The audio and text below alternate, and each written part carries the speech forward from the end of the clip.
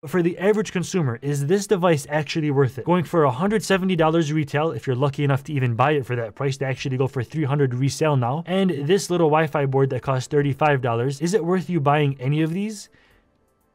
No, honestly, it's not. I'm not gonna lie to you and act like this is the craziest thing of all time. All these exploits that they have have actually been around before. This device just puts them all into one small portable device. But in reality, after three days of using this, you're not gonna ever use it again. If you actually wanted to do any of these things on this device, you can do them one by one. For an example, an IR blaster where you turn off TVs, or you can use one of these devices, which is a ESP32 that you can buy for like $5 online and turn it into a really, really bad guy testing tool.